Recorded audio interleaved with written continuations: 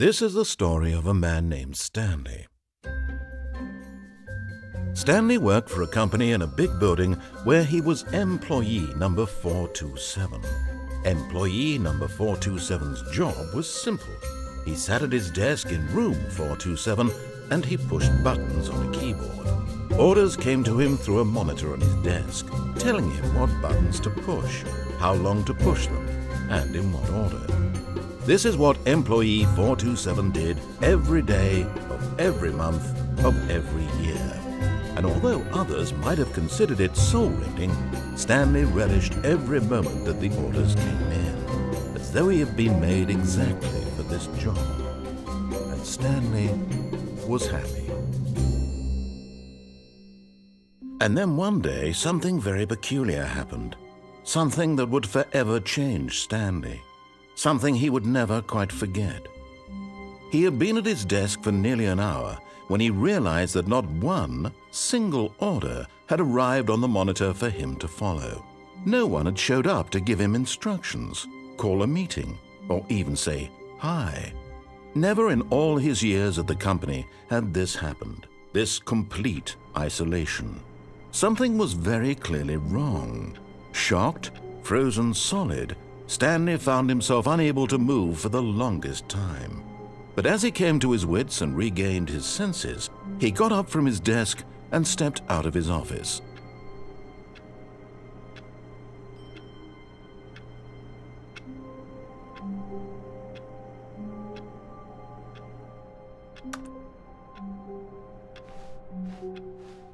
All of his co-workers were gone. What could it mean? Stanley decided to go to the meeting room. Perhaps he had simply missed a memo.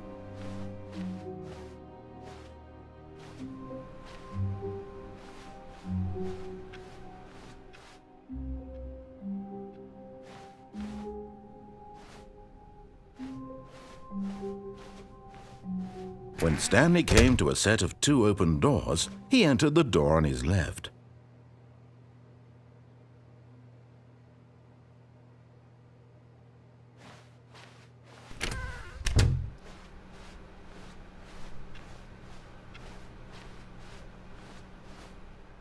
Yet there was not a single person here either.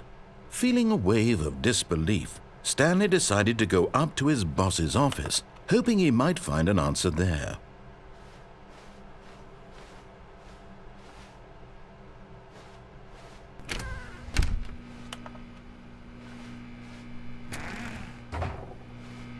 Stanley stepped into the broom closet, but there was nothing here, so he turned around and got back on track.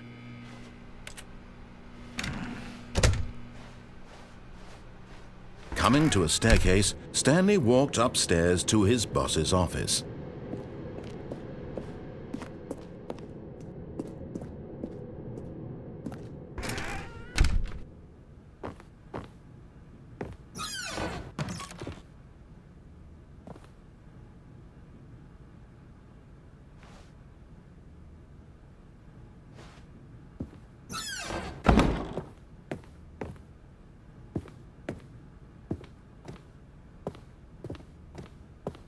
Stepping into his manager's office, Stanley was once again stunned to discover not an indication of any human life. Shocked, unraveled, Stanley wondered in disbelief who orchestrated this, what dark secret was being held from him. What he could not have known was that the keypad behind the boss's desk guarded the terrible truth that his boss had been keeping from him. And so the boss had assigned it an extra secret PIN number 2845. But of course, Stanley couldn't possibly have known this.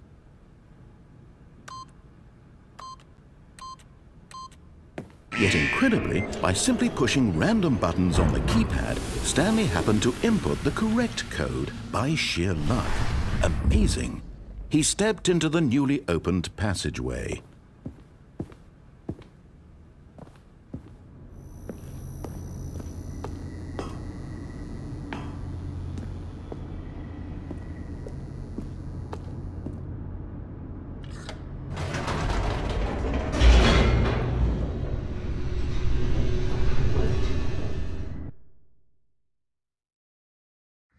Descending deeper into the building, Stanley realized he felt a bit peculiar. It was a stirring of emotion in his chest, as though he felt more free to think for himself, to question the nature of his job. Why did he feel this now, when for years it had never occurred to him? This question would not go unanswered for long.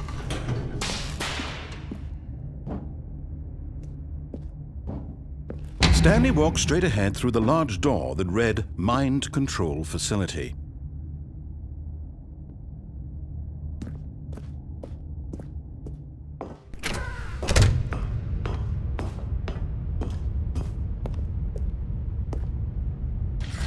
The lights rose on an enormous room packed with television screens. What horrible secret did this place hold? Stanley thought to himself. Did he have the strength to find out?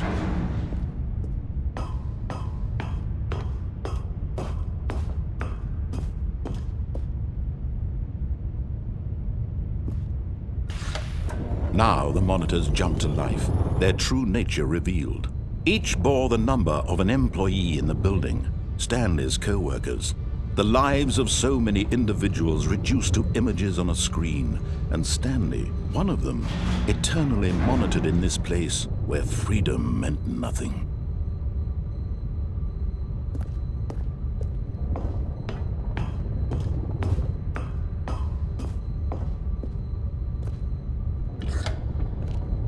This mind control facility, it was too horrible to believe. It couldn't be true. Had Stanley really been under someone's control all this time? Was this the only reason he was happy with his boring job? That his emotions had been manipulated to accept it blindly? No, he refused to believe it. He couldn't accept it. His own life in someone else's control? Never!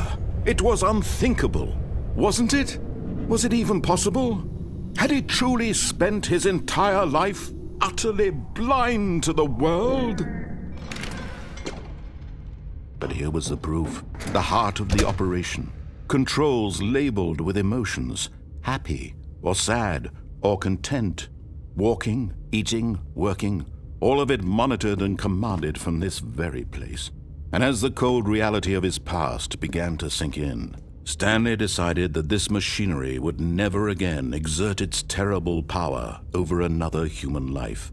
For he would dismantle the controls once and for all.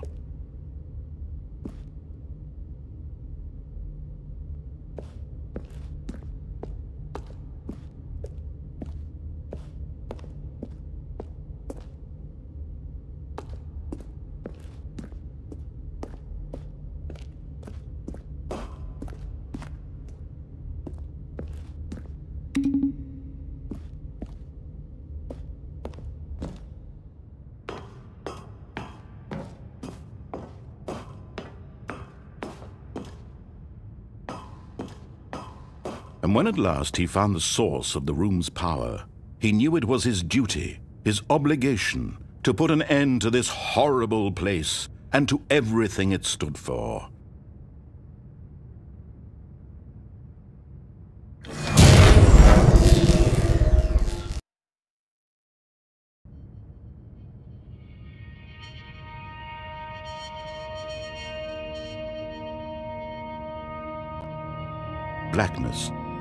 And a rising chill of uncertainty.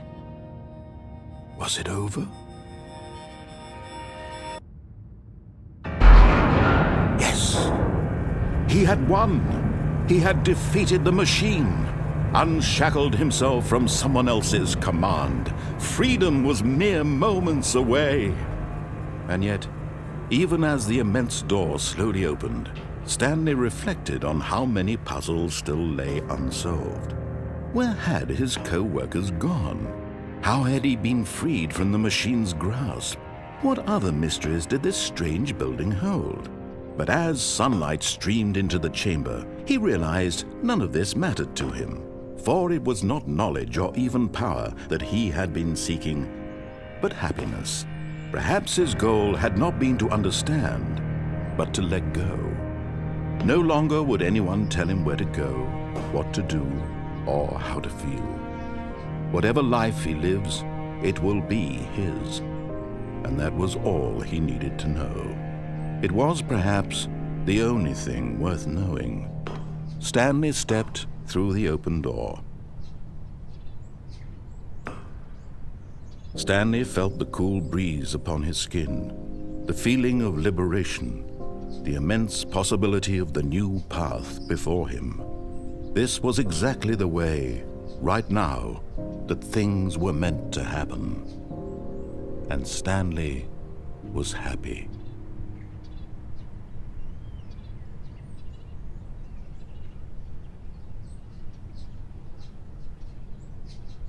This is the story of a man named Stanley. Stanley worked for a company in a big building where he was employee number 427. Employee number 427's job was simple.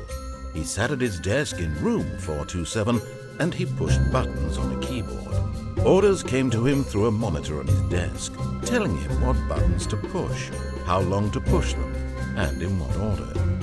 This is what Employee 427 did every day of every month of every year. And although others might have considered it soul-rending, Stanley relished every moment that the orders came in, as though he had been made exactly for this job. And Stanley was happy. And then one day, something very peculiar happened. Something that would forever change Stanley something he would never quite forget. He had been at his desk for nearly an hour when he realized that not one single order had arrived on the monitor for him to follow. No one had showed up to give him instructions, call a meeting, or even say hi. Never in all his years at the company had this happened, this complete isolation. Something was very clearly wrong. Shocked, frozen solid, Stanley found himself unable to move for the longest time. But as he came to his wits and regained his senses, he got up from his desk and stepped out of his office.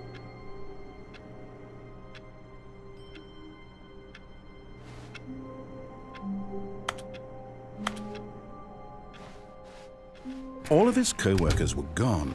What could it mean? Stanley decided to go to the meeting room. Perhaps he had simply missed a memo.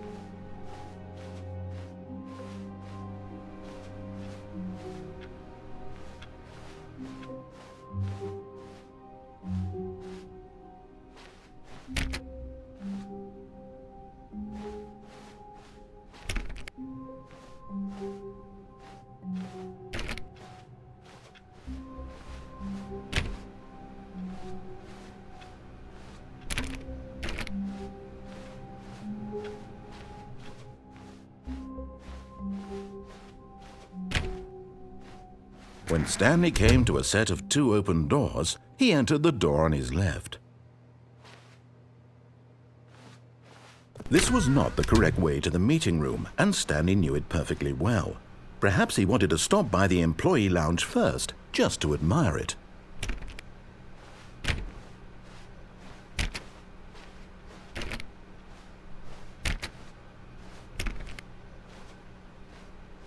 Ah, yes, truly a room worth admiring. It had really been worth the detour after all, just to spend a few moments here in this immaculate, beautifully constructed room. Stanley simply stood here, drinking it all in. But eager to get back to business, Stanley took the first open door on his left.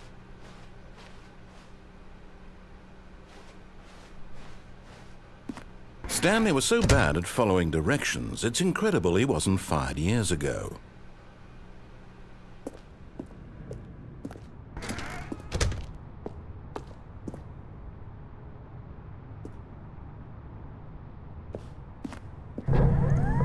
Look, Stanley, I think perhaps we've gotten off on the wrong foot here. I'm not your enemy, really, I'm not. I realize that investing your trust in someone else can be difficult, but the fact is that the story has been about nothing but you all this time. There's someone you've been neglecting, Stanley. Someone you've forgotten about. Please, stop trying to make every decision by yourself. Now, I'm not asking for me, I'm asking for her. This is it, Stanley. Your chance to redeem yourself. to put your work aside, to let her back into your life. She's been waiting.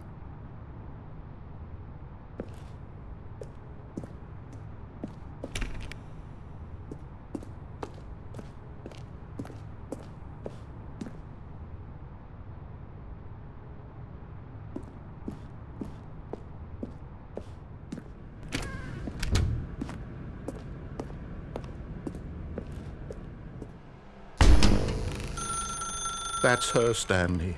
You need to be the one to do this, to reach out to her. If you can truly place your faith in another, then pick up the phone.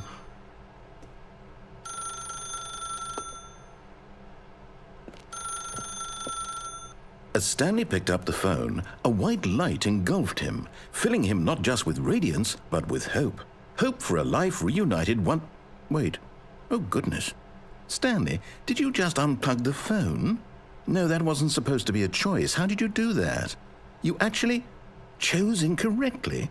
I didn't even know that was possible. Let me double check.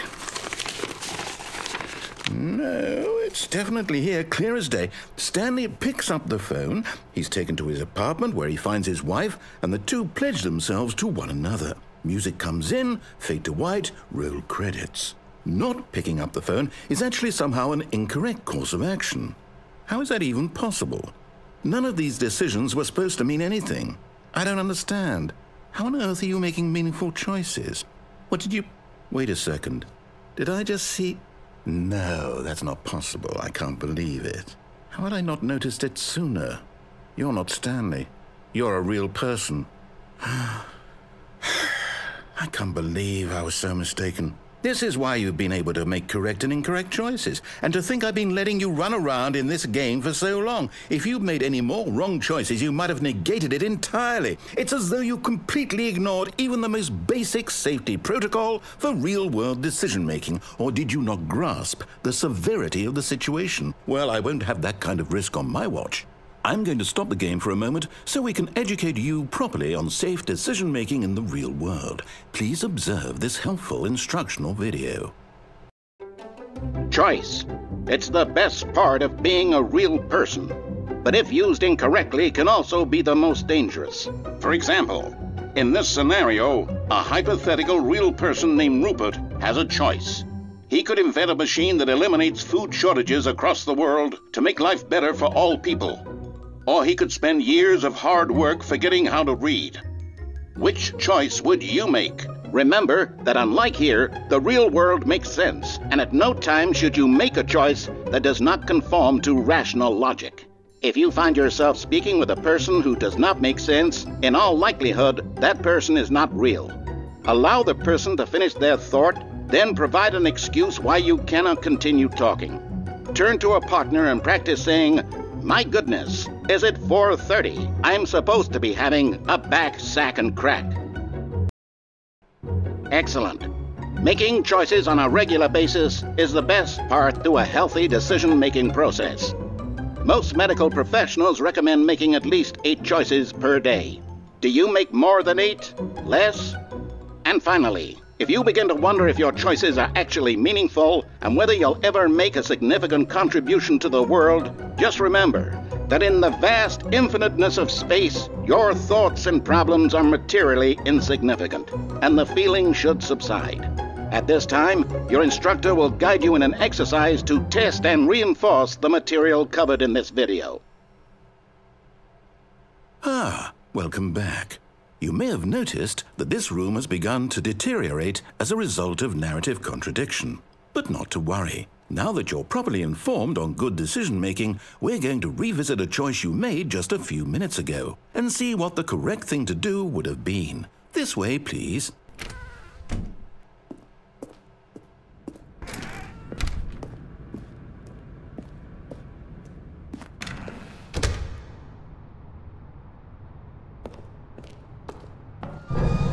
Now that we know your choices are meaningful, we can't have you jumping off the platform and dying. Imagine the main character dying senselessly halfway through the story. That story would make no sense at all. We just need to get you home as soon as possible before the narrative contradiction gets any worse. Unfortunately, it seems this place is not well equipped to deal with reality.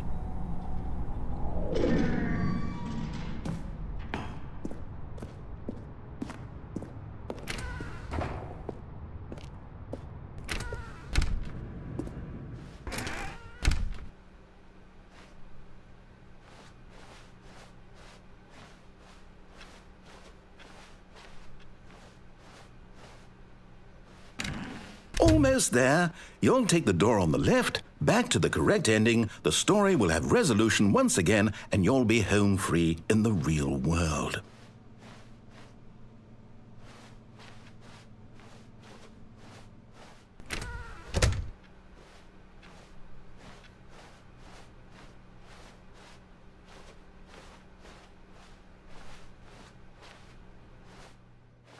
Now remember, all you need to do is behave exactly as Stanley would. That means choosing responsibly and always putting the story first. I'm quite sure you'll be up to the task. Just follow my lead and you'll be fine. All right.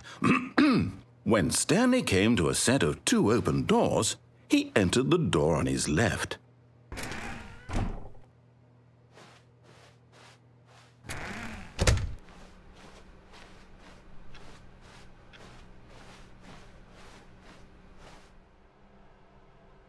Yet there was not a single person here either. Feeling a wave of disbelief, Stanley decided to go up to his boss's office, hoping he might find an answer there. Coming to a staircase, Stanley walked upstairs to his boss's office.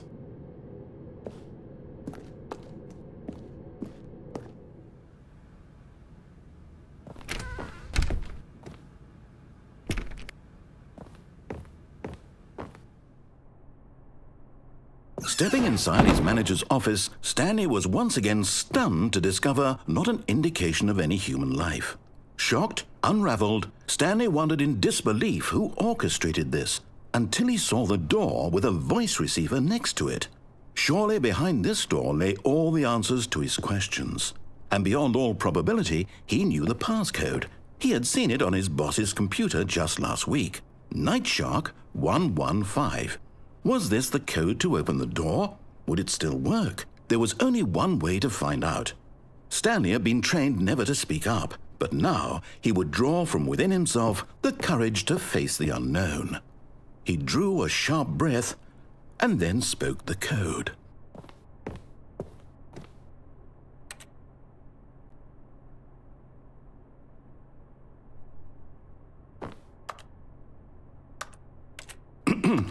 Stanley spoke the code. Night Shark 115. He spoke it into the receiver, right there on the wall.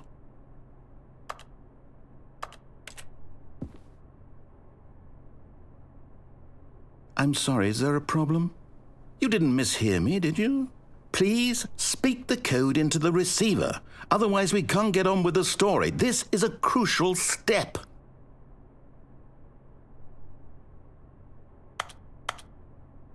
Okay, fine, you're not going to do it, but you know what?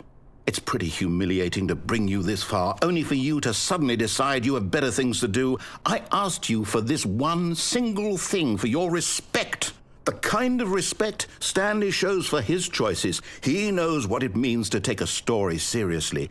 If you didn't want to see what I had to show you, then why did you come here? You had a choice, you know. You could have gone through the door on the right. You could have done whatever the hell you wanted over there. Why did you come this way? Speak. Say something to me. Explain yourself, you coward. You ...is behave exactly as Stanley would.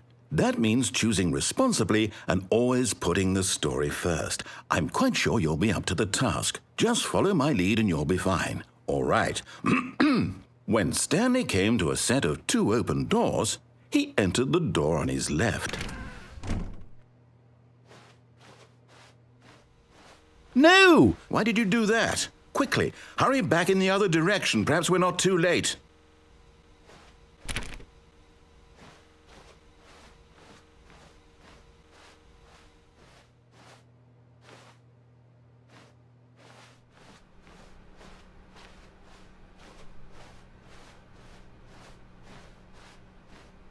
Oh, ruined. You, I can't believe, after everything we talked about, that you. My story. You've destroyed my work. Why? For what? What did you get out of that? What did you think was so special about seeing the game undone, left here like so much garbage? It, well, it's worthless now. And what am I supposed to do? Even if there were a way to continue, would it be worth it? To know that my story is now incorrect? How can I go back to that?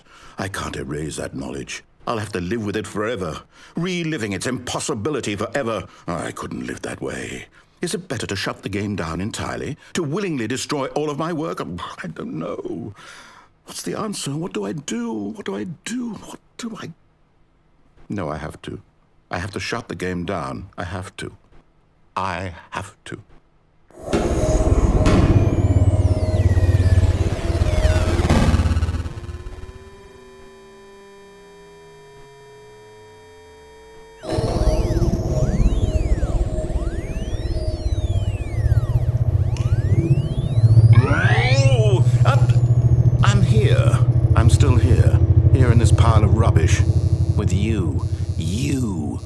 Thought you were so clever. Now look where we are. My entire game is destroyed. It was the only thing in the world that was mine, and you've run it into the ground. What, did you think that would be funny? You just had to see? Didn't I impress upon you how important it was to be like Stanley? He actually knows how to do what I tell him to. He understands that if I say to do something, there's a damn good reason for it. That thought hadn't even occurred to you, had it? That there's a world outside of you, you're a child. Oh, my story. If you'd just gone through the door on the left, you would have seen it. There was a whole underground facility. You would have destroyed it and been victorious. It would have been so perfect. I worked so hard on it. I tried so hard to make. When Stanley came to a set of two open doors, he entered the door on his left. Stanley? Hello? Are you. Is everything okay? Stanley, please. I. I need you to make a choice. I need you to walk through the door. Are you listening to me? Can you hear me? Is everything all right? Stanley, this is important. The story needs you. It needs you to make a decision. It cannot exist without you. Do you understand me? Whatever choice you make is just fine. They're both correct. You cannot be wrong here. We can work together. I'll accept whatever you do. I simply need you to take that step forward, please. Choose.